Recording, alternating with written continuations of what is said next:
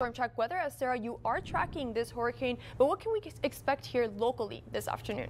Well, good afternoon, everyone. You know, locally we are staying shy of obviously the hurricane's track. We are staying dry locally, but of course, as we focus on Francine, it is moving onwards toward the Louisiana area as expected. So overall, as we track the movement of Francine, it is expected to hit the New Orleans area about 6 p.m. tonight. So we are, of course, continuing to track that winds going up in that time frame that's expected to make landfall. Winds are expected to be about 65 miles per hour, which of course is very strong. So taking you to a live look with with our Doppler radar, you can see, of course, El Paso, Las Cruces looking pretty calm, looking pretty dry, but off the coast of Texas here, you can see uh, Tropical Storm Francine as it moves through warm water and the Gulf of Mexico. Now, it is, again, expected to reach hurricane status as it hits Louisiana. Now, along with the Louisiana area that's seeing some impact, we could also see that storm surge just east of the Houston area, and that could potentially lead to flash flooding. So definitely a lot of major impact associated with right now this tropical storm, again, anticipated to be a hurricane. And that is,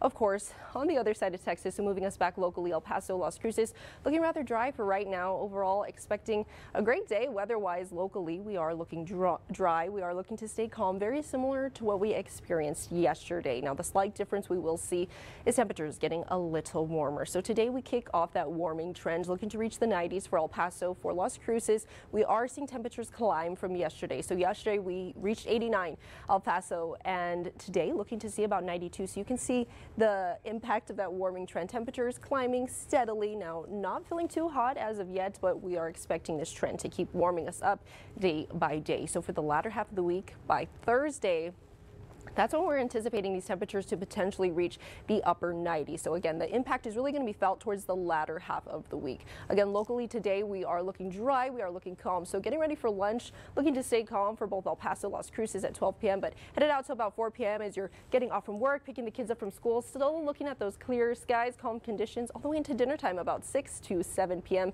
Then rounding out the evening tonight into 8 o'clock and onwards, still looking dry, still looking calm. So overall today, still a beautiful day, just slightly warmer. So for today, Today we are seeing temperatures a little warmer at 92 with a look at your 7 day forecast sponsored by Mattress Firm. However, that warming trend is going to be a little bit more impactful tomorrow and onwards towards the latter half of the week. El Paso and Las Cruces also seeing the impact with temperatures climbing and then our rain chances starting to increase by the weekend. Edie's?